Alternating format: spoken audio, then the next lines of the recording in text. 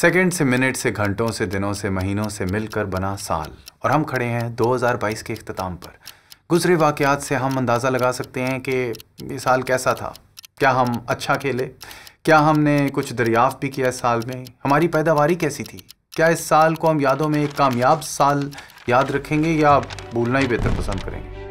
आइए घुस के पढ़ते हैं आज के साल के वाक़ात में। 2022 में क्रिकेट की सबसे छोटी फॉर्म टी में पाकिस्तान ने लाजवाब कारकर्दगी दिखाई और मेलबर्न में इतने लोग खेल देखने इकट्ठे हो गए कि उधर अमेरिका तक इसकी खबर आ पहुँची When I went to the uh, Pakistan versus uh, India, that's like that's bigger than the Super Bowl. More viewers than the Super Bowl in the world. Really? Pakistan versus India. Soccer? No, cricket. Cricket? Cricket. Really? What kind of wealth is over here?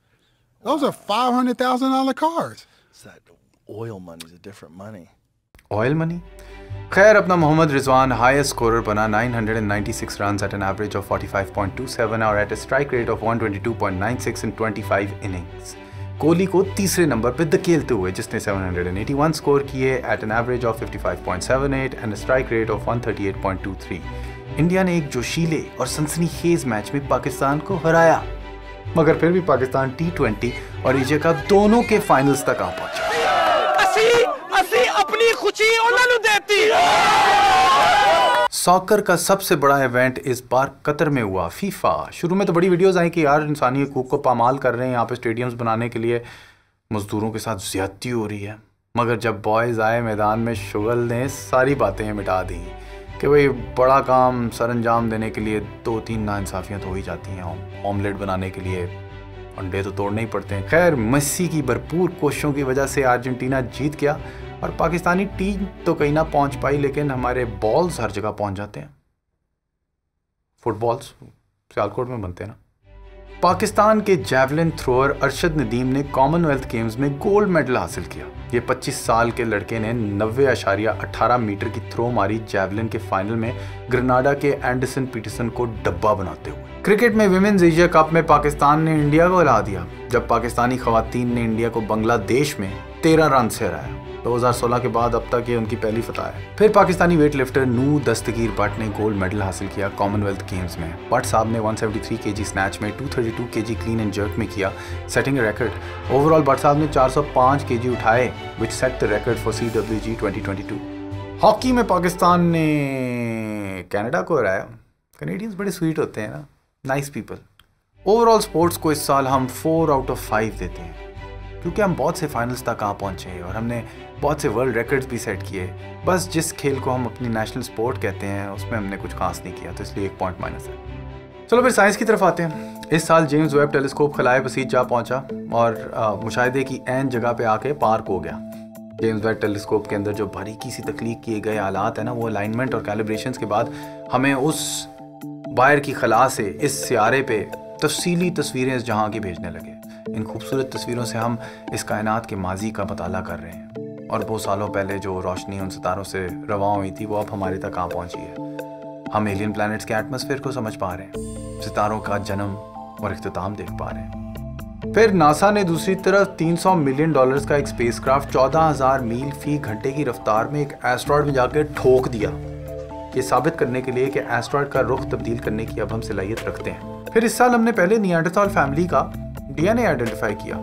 एक बाप उसकी बेटी कुछ रिश्तेदार एक गार में पाए गए जो कि चौवन साल पहले वहाँ भूख से मारे गए थे शायद। इंसान और भी कार्बन फिजा में रिलीज़ करता रहा, मगर एक साइंसी तकलीक से ये तो है कि मुस्तबिल में हम कार्बन मिशन को कम कर पाएँगे। साइंसदानों ने न्यूक्लियर फिशन की इग्निशन हासिल कर ली है। हुंगा टोंगा हुंगा हपाई, एक आतिश फिशा टोंगा में फटा और उसके नतीजे में एक 50 फुट का सुनामी आके मुल्क में बचा। सौ घर तबाह हो गए, तीन लोग मारे गए। ये धमाका हिरोशिमा पे गिराए हुए एटम बम से भी सौ गुना ज़्यादा ताकतवर था कि स्पेस में भी नज़र आया। और इसकी भाप फिजा में 35 मील की ऊंचाई पर घूमती रही। ये पानी के जर्रे हवा में 10 साल तक रहने का इम्कान रखते हैं और हमारे क्लाइमेट पे भी असर करेंगे।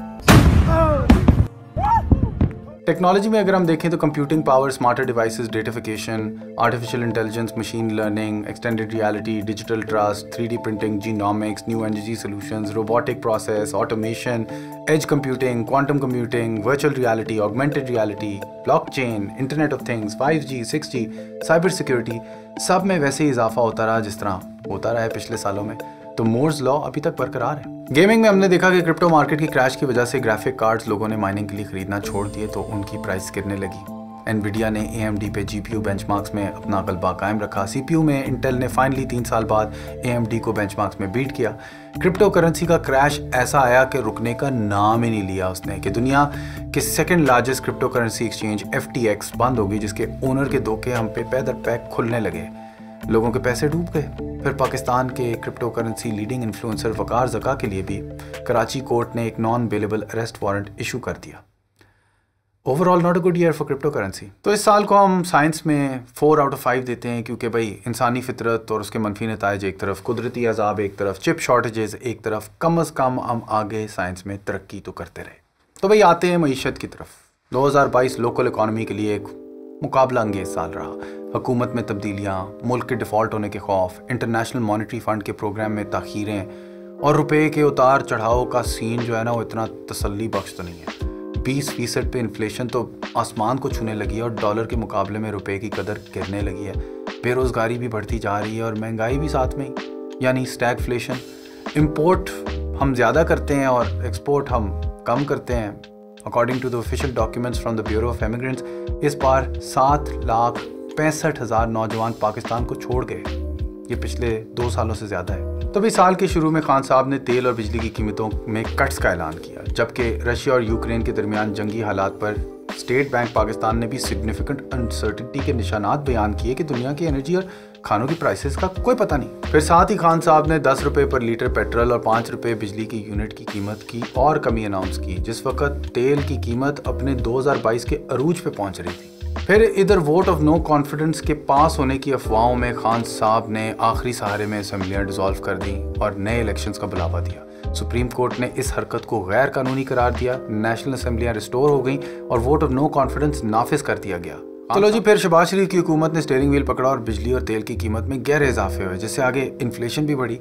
स्टेट बैंक पाकिस्तान ने इंटरेस्ट रेट भी चढ़ाया। पहले पौने चौदह फ़ीसद था फिर पंद्रह फ़ीसद था फिर सोलह फ़ीसद रहा जो कि 1999 के बाद से पाकिस्तान का हाईएस्ट इंटरेस्ट रेट रहा है। इसके साथ इन्फ्लेशन भी सत्ताईस फ़ीसद को टच कर गई। तो भाई लोकल इकोनॉमी के मामले में तो हम इस साल को भूलने के बराबर ही समझते हैं। इकोनॉमी में डिमांड अब कम हो गई होगी और तरक्की इस मामले में हमें नज़र नहीं आ रही खास। इकोनॉमी को हम वन आउट ऑफ़ फाइव देते हैं और अगर आगे हम डिफ़ॉल्ट हो गए तो वो ज़ीरो आउट ऑफ़ फाइव हो जाएगी। ग्लोबल इकोनॉमी के मामले में आईएमएफ की प्रोजेक्शन है कि जीडीपी की ग्रोथ स्लो डाउन होगी, जो कि छः फ़ीसद थी 2021 में, तीन फ़ीसद थी 2022 में और अब दो फ़ीसद जारी है 2023 की तरफ़ की प्रोडिक्शन है। इकोनॉमिस्ट का कहना है कि 10 साल तरक्की आहिस्ता होगी बैन अवी मीशत में।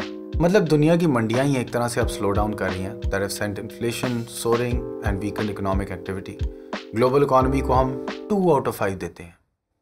फेल है। भाई, वो साल क्या साल जिस साल कोई अच्छा गाना ना निकला हो और पाकिस्तानी आर्टिस्ट अली सेठी का गाना पसूड़ी इस साल पाकिस्तान से, इंडिया से ग्लोबल चार्ट्स तक हिट कर गया। और पाकिस्तान और इंडिया को अपनी जड़ों के करीब ले आया। हसन रहीम मंजर आम पे आया, अब्दुल अनान ने अपने इरादे बयान किए, मगर Atif Aslam remain the most stream Pakistani artist of the year Pakistani artist in Pakistan the most stream artist of the year was actually Indian A P Dhillon personal discovery में मैं एक बैंड मुंबई का कैटोप्रिस electro dub indie band है, उसको add करूँगा और कहूँगा कि five out of five this year for music Punjabi folk fantasy की दुनिया में set the legend of Maula Jatt इस साल रिलीज़ हुई और सिनेमा के बॉक्स ऑफ़िस रिकॉर्ड्स में एक नया बेंचमार्क सेट कर गई। Acting cinematography dialogue screen play editing sound design scoring एक नेक्स्ट लेवल पे पहुँचा दिया इसने पाकिस्तानी सिनेमा को, जो बाकी फ़िल्म मेकर्स के लिए अब बीट करना एक चैलेंज होगा। फिर पाकिस्तानी फ़िल्म जॉयलैंड, जो कि कान फ़िल्म फेस्टिवल से स्टैंडिंग ओवेशन लेकर आई। इधर पाकिस्तान में रिलीज़ होते वक्त ज़रा थोड़े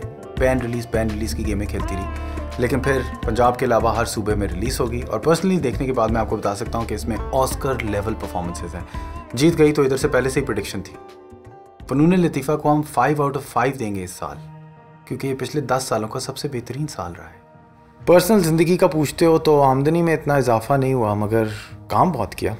और चैलेंज किया अपने आप को फिज़िकली भी और मेंटली भी। नए दोस्त बनाए, अपने हीरोज़ के साथ काम किए, नशे काम किए कमेंट्स और भी कम पड़े एक्सरसाइज ज़्यादा की, पहाड़ चढ़े, बहुत कुछ किया मगर उसके बावजूद अभी भी आस बहुत है। अपने आप को पार कर देने की आस है और उससे ज़्यादा और जिम्मेदारियाँ उठाने की तलब है एक। आई एम श्योर आपको भी है और आप अपने साथ इन उम्मीदों को नए साल में लिए जा रहे हो। उम्मीदें जिनके पीछे हम दौड़ने में मकसद पाते हैं। कभी जीतते हैं और कभी हारते हैं, मगर दौड़ते ज़रूर हैं तो दौड़ो।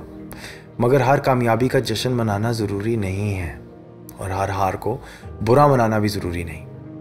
लोगों का दिल दुखाना भी ज़रूरी नहीं है, और अपने दिल को दुखाने वालों को टॉलरेट करना भी गैर ज़रूरी। समझ ना? कटा दो। सांस लेना ज़रूरी है, जीना ज़रूरी है। आज कल मैं अपनी भांजी को जान पा रहा हूँ। अपनी बीवी के साथ सुबह चाय पी पा रहा हूँ। अपने वालदेन के साथ फजूल बहस कर पा रहा हूँ। और इसमें भी मुझे जीने का एक मानी सा मिल रहा है। नसीहत मशवरा मैं सिर्फ़ उनका सुन रहा हूँ, जिनको मेरी कोई कदर हो, और फिर उनको सब्र से सुन रहा हूँ। कराची जाकर व्यापारी बन रहा हूँ, लाहौर आके मैं ख़ानदानी बन रहा हूँ, अपने जिसम का ख्याल रख रहा हूँ, अच्छी डाइट रख रहा हूँ वाइटामस खा रहा हूँ बेस्तियाँ भूल रहा हूँ, तारीफ़ों को सजा रहा हूँ। मतलब मैं भी आपकी तरह इस नए साल में दाखिल हो रहा हूँ। तो नया साल मुबारक। Move out